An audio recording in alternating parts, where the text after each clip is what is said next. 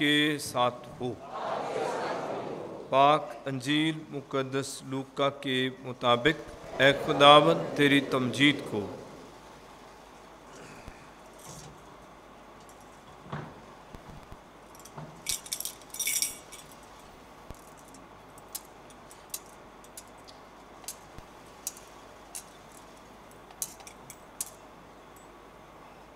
उस वक्त शागिर्दों ने सब कुछ बयान किया कि राह में क्या क्या हुआ? और क्यों कर उन्होंने रोटी तोड़ते वक्त यसु को पहचाना? और वो ये बातें कर ही रहे थे कि यसु आप उनके बीच में आकर खड़ा हुआ और उनसे कहा, तुम्हें सलाम। मगर वो घबरा गए और खौफ खा कर ये समझे कि किसी रूह को देखते हैं। मगर उसने उनसे कहा कि तुम क्यों घबराते हो? और तुम्हारे दिल में क्यों शक पैदा होता है? मेरे हाथ और मेरे पाँव देखो कि मैं ही हूँ। मुझे छू कर देखो क्योंकि रूह के गोश्त और हड्डी नहीं होती। जैसा मुझमें देखते हो। और ये कहकर उसने उनको अपने हाथ और अपने पाँव दिखाए। और जब खुशी के मारे उन्हें तब भी यकीन ना आया और तजब करते थे तो उसने उनसे कहा कि क्या यहाँ तुम्हारे पास कुछ खाने को है? तब उन्होंने भुनी हुई मछली का एक कतला उसको दिया। उसने लेकर उनके सामने खाया। और उनसे कहा कि ये मेरी वही बातें हैं जो मैंने तुमसे उस वक्त कही थी, जबकि हनूस तुम्हारे साथ था, कि ज़रूर है कि वो सब कुछ पूरा हो, जो मूसा की तुरात और सहाफ़ अम्बिया और मज़ामीर में मेरे हक में लिखा है। तब उसने उनका जहन खोला ताकि नविश्तों को समझें और उनसे कहा कि यूँ लिखा है कि अलमसीह दुख उठाएगा और तीसरे दिन मुर्द में से जी उठेगा। और यरूशलेम से लेकर सब कौमों में उसके नाम से गुनाहों की माफ़ी के लिए तोबा की मुनादी की जाएगी। तुम ही इन बातों के गवाह हो पाक अंजील के वसीला से हम सब की ख़ताएँ माफ़ की जाएँ। अज़ीज़ भाई और बहनों, आज हम बड़ी अकीदत के साथ ईस्टर के इन अयाम में, ईस्टर के इस मौसम में खुदा का शुक्र अदा करने आए हैं जो बहुत मेहरबान है अजीज़ों, हम देखते हैं कि यसु मसीह के जूठने के बाद, क्योंकि यसु मसीह से पहले कोई शख्स जी नहीं उठा था। तारीख में यसु मसीह ही वो वाहिद इंसान और खुदा भी है जो दफन किए गए और जी उठे। यसु मसीह ही वाहिद इंसान भी हैं जिनको सलीब पर से उतारा भी गया और कफनाया भी गया, दफनाया भी गया और यसु मसीह फिर जी उठे। शागिर्दों के लिए सबसे जो बड़ा मसला था, मुश्किल थी, जो एक ईमानी जद्दोजहद थी, वो थी कि लोगों को बताना कि यसु जी उठा है। अगर यसु मसीह से पहले कोई शख्स जी उठ, उठा होता तो फिर शायद आसान होता बताना कि आपको पता है कि वो शख्स भी जी उठा और आपको पता है वो भी जी उठा और हमारा यसु भी जी उठा। तो फिर आसाना बतान था। लेकिन अब इससे पहले कोई ऐसा हवाला नहीं है। एक ही अभी हवाला है और वो क्या है? वो यसु मसीह की खुद पेशन गोइयाँ भी हैं और दूसरा है कि नविश्तों में जो कुछ लिखा था। यानी यसु मसीह के आने से पहले, बहुत साल पहले, जो पेशन गोइयाँ हुई, उन पेशन गोइयों में ये लिखा था कि ज़रूर है कि इब्न इंसान बहुत दुख उठाए। इब्न इंसान गुनागारों के हवाले किया जाए और वो उसे कत्ल करेंगे और वो तीसरे दिन जी उठेगा। ये है बात जो आज मैंने और आपने भी समझनी है। कि यसु मसीह नविश्तों के मुताबिक दुनिया में पैदा हुए। नविश्तों के मुताबिक यसु मसीह ने तालीम दी, दुख भी उठाया और यसु मसीह पाक नविश्तों के मुताबिक जी उठे। अज़ीज़ यसु मसीह के शागिर्द यसु मसीह के जुटने के बाद शागिर्द भी बेशक ये जो मौसम है, इसको हम कहते हैं ईस्टर का मौसम। हमारे पास पहले जो था, वो था रोज़ों का मौसम, चालीस दिन थे। इसके बाद अभी है ईस्टर का मौसम। इसका मतलब है यसु मसीह के जूठने का मौसम है और शागिर्द इन दिनों में यसु मसीह को एक दूसरा मसीहा भी देख रहे थे। यानी वो यसु पहले उन्होंने जो यसु को देखा था यसु मसीह उनके साथ तालीम देते थे, मजमा इकट्ठा होता था। अब यसु मसीह अपने शागिर्दों पर मुख्तलिफ़ तरीक़ों से ज़ाहिर होते हैं। और यसु मसीह उन पर ही ज़ाहिर हो रहे हैं, शागिर्दों पर ही ज़ाहिर हो रहे हैं और उनको बता रहे हैं कि मैं जी उठा। अभी शागिर्दों के पास एक बहुत बड़ी बात है और उसी को उन्होंने समझना है। जैसे मैंने पहले कहा, जैसे मैं और आप हैं, हम सब एक दूसरे को देख रहे हैं। यसु मसीह शागिर्दों के साथ ऐसे ही थे। अब यसु मसीह दफनाए गए और जी उठे। अब शागिर्दों को जब यसु मसीह मिल रहे हैं तो यसु मसीह अब जी उठे यसु हैं। जी उठे यसु हैं। अब यसु मसीह बहुत बड़े मजमों को तालीम नहीं दे रहे। यसु मसीह बार बार अपने शागिर्दों पर ज़ाहिर हो रहे हैं। और आज की जो तलावत है, हम इससे पहले भी एक देखते हैं, वाक्य है कि मुकदस पत्रस ने कहा कि यसु मसीह जी उठे हैं, लेकिन वो हम पर ज़ाहिर होते हैं, लेकिन अभी हमने करना क्या है? अभी समझ नहीं आ रही क्या करना। मुकदस पत्रस ने कहा, भाई, मैं तो अपनी मछलियों के शिकार को जा रहा हूँ। ये दो जो शागिर्द थे, ये भी यरूशलेम से अपने गाँव को वापस जा रहे थे, अमवास। इन्होंने कहा, भी, हम भी अपने घर चलते हैं। तो ये अपने गाँव को जा रहे थे। जब जा रहे थे तो रास्ते में बड़े परेशान थे, मायूस से। परेशानियों की बातें कर रहे थे और परेशानी की बात क्या थी कि देखो, हमें बड़ी उम्मीद थी कि यसु जो इतने बड़े नबी हैं, हमें उम्मीद थी कि वो हमें, हमारे तमाम गुनाहों से रिहाई देंगे, वो बादशाह होंगे, वो रोमियों से हमें आज़ादी दिला देंगे। लेकिन ऐसा हुआ ही नहीं। वो बड़े परेशान थे कि ऐसा नहीं हुआ। यसु मसीह को बल्कि यहूदियों ने यसु मसीह को गिरफ़्तार किया यसु मसीह को बहुत मारा यसु मसीह के मुँह पर थूका। और अभी तीसरा दिन है तो ये वापस तो यसु मसीह इनके साथ चलना शुरू कर देते हैं और यसु मसीह इनसे पूछते हैं कि तुम क्या बातें कर रहे हो? तो वो यसु से कहते हैं कि तुझे नहीं पता कि एक बहुत बड़ा नबी था और किस तरह से यसु उसने तालीम दी और फिर उसे गिरफ़्तार किया गया और उसको यहूदियों ने मार दिया।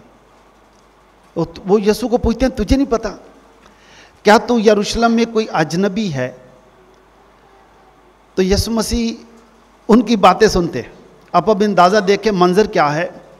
मंजर यह है कि वो यसु को यसु की बातें बता रहे हैं कि देखो यसु के साथ बड़ा जुल्म किया गया। और यसु उनकी सारी बातें गौर से सुनते हैं और पैदल उनके साथ साथ चलते जा रहे हैं। और लिखा है कि फिर यसु मसीह ने उनके जहनों को खोला। और यसु मसीह ने फिर उनको बताया कि क्या तुम्हें पता नहीं कि नविश्तों में यही लिखा था? क्या तुम्हें नहीं पता? वो पहले यसु को पूछते हैं कि क्या तू ही आज नबी है? तुझे नहीं पता कि क्या हुआ?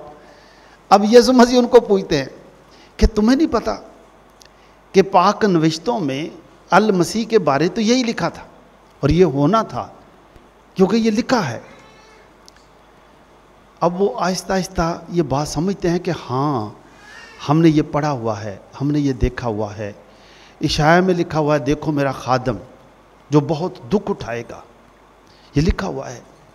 और फिर उनको याद आता है कि यसु मसीह ने खुद भी कहा था। अब इनको नहीं पता कि ये यसु उनके साथ साथ चल रहा है। उनको नहीं पता कि यसु उनके साथ साथ है। अब यसु को वो बताते हैं कि हाँ हमें भी याद आ रहा है। कि यसु अल मसीह ने हमें बताया था कि ज़रूर है कि इब्न इंसान बहुत दुख उठाए। हमें याद आ रहा है। अब चलते चलते शाम हो गई है और इनका घर आ गया है। ये जो दो शागिर्द अमवास के हैं, इनका घर आ गया है और इनको ये अंदाज़ा होता है कि ये जो अजनबी हमारे साथ है, मुसाफिर, लगता है ऐसे किसी ने कहीं और आगे जाना है। हमारा तो गाँव आ गया, घर आ गया, इसलिए लगता है आगे जाना है। वो उसे दावत देते हैं कि हमारे साथ रहे। तो यसु फिर उनके साथ ठहर जाते हैं। यसु बल्कि उनके साथ घर में जाते हैं और फिर कहते हैं, चलो दुआ करें। तो दुआ करते वक्त जब रोटी तोड़ते हैं, फिर उनको याद आता है कि अल मसीह ने हमें यह कहा था कि मेरी याद में ये किया करो। तो वो यसु की याद में, जिस तरह हम पाक का साक्रामेंट मनाएँगे तो जब वो रोटी तोड़ते हैं तो क्योंकि यसु ने उस रोटी को बरकत दी है, रोटी तोड़ते हो तो पहचान लेते ये तो यसु है। जो हमारे साथ साथ चल रहा था, जिसे हम सारी बातें बता रहे थे, वो तो यसु है। और फिर यसु उनकी निगाह से गायब हो जाते। अब ये दो शागिर्द, जिन्होंने यसु का तजर्बा किया, रास्ते में चलते चलते फिर रोटी तोड़ते वक्त यसु का तजर्बा किया और पहचान लिया। अब आप अंदाज़ा करें कि लिखा है, रात शाम का वक्त था। और ये काफ़ी दूर पैदल चलकर आए थे।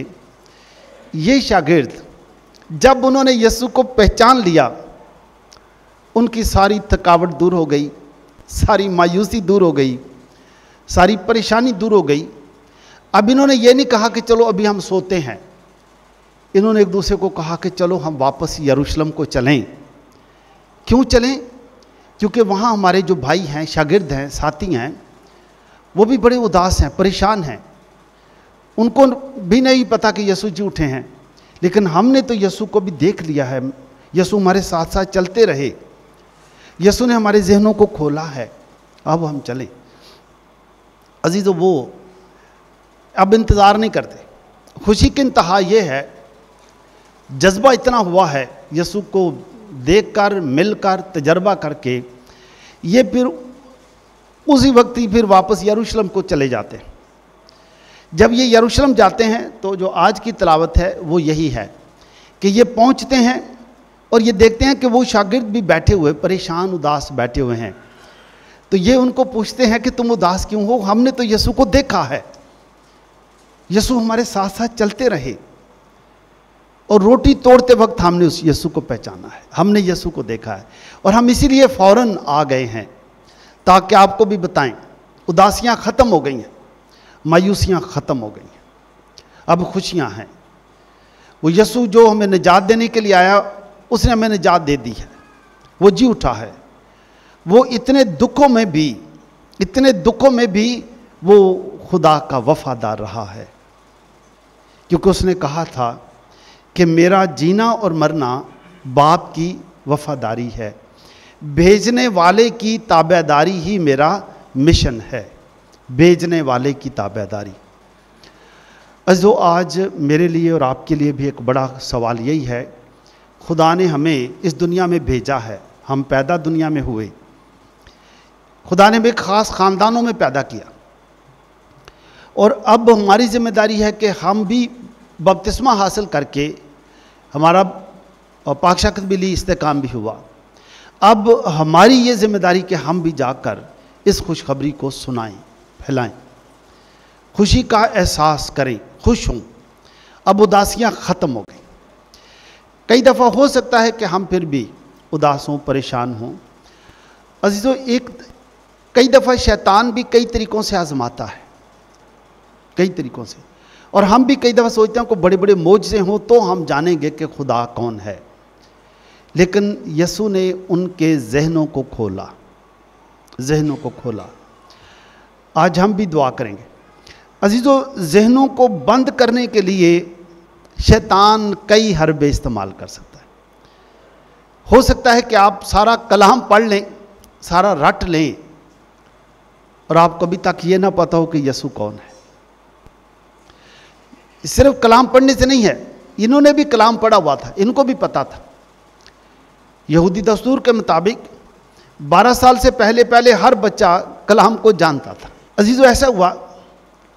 फिर यसु मसीह ने इसलिए साबित करने के लिए कि मैं यसु ही हूँ। तो यसु ने उनके यसु फिर हाजिर हुए वहाँ पर और यसु ने उन्हें कहा, तुम्हें सलामती हासिल हो। फिर यसु ने उनके सामने खाना खाया, रोटी, मछली खाई। क्यों मछली खाई? उनको पता चले कि मैं ही हूँ, मेरे ज़ख्म देखो। मैं वो ज़ख्मों वाला यसु हूँ, जिसने दुख उठाए हैं, जिसने तुम्हारे लिए ज़ख्म उठाए हैं, लेकिन बाप की वफादारी में मैंने मौत पर फतेह पाई है, शैतान पर फतेह पाई है। ये ज़ख्मों के साथ ज़िंदा रहना, यसु ज़ख्मों के साथ जी उठे। अजू एक दफ़ा का ज़िक्र है कि मुकदसा ट्रीज़ा ऑफ़ अवेला बहुत बड़ी मुकदसा हैं और बहुत दुआगो थी, बहुत दुआगो। और कई दफ़ा जो बड़े नेक लोग हैं, दुआगो हैं, उन पर भी आजमाइशें, बड़ी मुश्किल आजमाइशें आ जाती बड़ी मुश्किल आजमाइश में। तो वो दुआ कर रही थी तो सिस्टर थी, बीमार रहती थी, बहुत दुआगो थी तो क्या हुआ कि एक दिन उनके पास शैतान आया और शैतान बिल्कुल यसु के रूप में आ गया। बिल्कुल यसु की तरह। और मुकदसा टीज़ा से उसने कोई एक दो बातें की। बातें वैसे शुरू में जैसे शैतान अच्छी बातें की कि तुम बहुत अच्छी हो, तुम मुकदसों की तरह रहती हो, लेकिन तुम्हें पता है कि तुम बीमार रहती हो तो बीमार रहना जो है वो कितनी बड़ी अजियत है, अजाब है। खुदा ने लगता है कि आप पर अजाब कोई डाल दिया है, ताकि मुकसा टीज़ा कुछ कहे कि ये देखो यसु मेरे पास आ गया है, यसु मुझे तसल्ली दे रहा है। ऐसे ही होना था ना? तो मुकसा टीज़ा यसु को देखती हैं और लगता है जैसे यसु ही है, यसु को देखती हैं और ये चुप रहती हैं, कुछ नहीं कहती। इतने में शैतान परेशान हो जाता है कि ये कुछ भी नहीं कह रही। तो फिर शैतान ने पूछा कि क्या तुझे पता नहीं कि मैं यसु हूँ? उसने कहा, मुझे पता है तू शैतान है। वो वो परेशान हो गए। शैतान परेशान हो गया। शैतान ने कहा कि मैं तो बिल्कुल वैसा ही रूप धार कर आया हूँ जो यसु का है। शैतान जाते जाते उसने पूछा, उसने कहा कि तुझे कैसे पता है कि मैं यसु नहीं हूँ?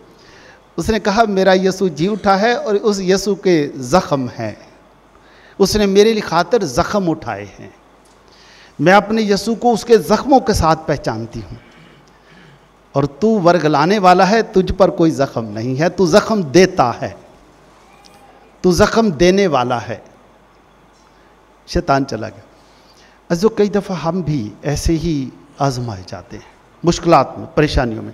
कई दफ़ा हम भी सोचते हैं, पता नहीं क्या लेकिन यसु मसीह ने शागिर्दों को अपने ज़ख़म भी दिखाए। इसलिए दिखाए कि ज़िंदगी में ज़ख़म भी आ सकते हैं मुश्किल भी आ सकती हैं, परेशानियाँ भी आ सकती हैं, लेकिन तुमने किसी को नुकसान नहीं देना है। ज़ख़म तुमने किसी को नहीं देने हैं। तुम्हारे ज़ख़म ही ये निशानी होंगे कि तुम मेरे हो, तुम वफादार रहे हो। ये ज़ख़म ही निशानी होंगे कि तुम मेरे वफादार हो। निशानी होगी जो आज जब हम खुदा के ज़ूर आए हैं, हमारे भी शायद कई ज़ख़म होंगे, फैमिली में कई ज़ख़म, बेवफाई के ज़ख़म, मियाँ बीवी के दरमियान बेवफाई के ज़ख़म, कई और तकलीफ़ें।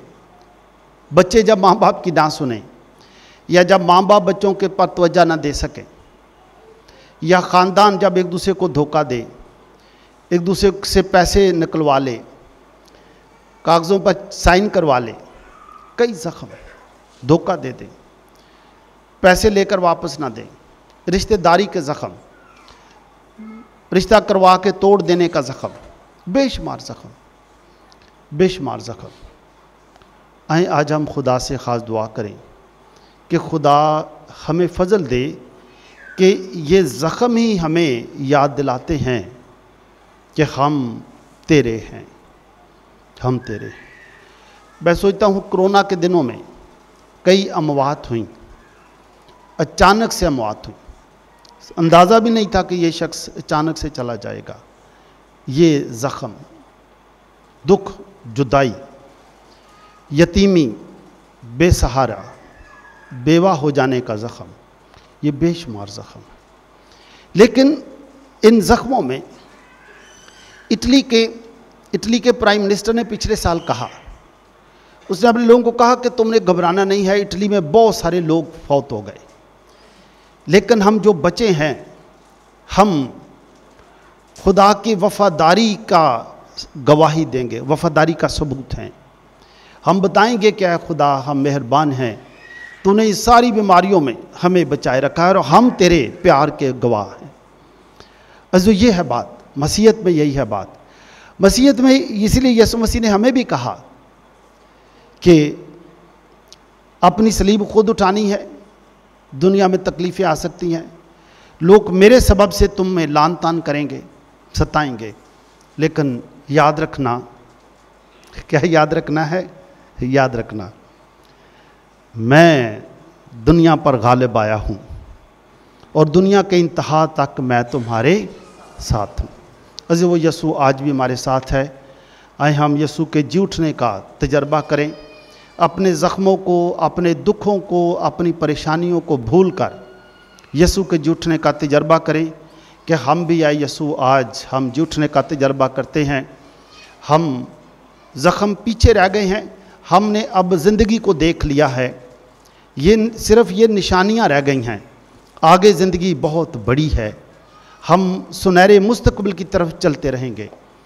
मेरी दुआ है, खुद आपको पुख्ता मान्यता करे, आपके और मेरे जहन को खोले और हम ज़िंदगी की फरवानी की तरफ़, सुनहरे मुस्तकबिल की तरफ़ चलते रहें और आप अपने घरों में हमेशा खुश रहें। डाइसिस के लिए पैरिश के लिए खुशखबरी का बायस बने रहें। मुल्क के लिए हमेशा सलामती का वसीला बने रहें। मसीह खुदावंद के वसीले से।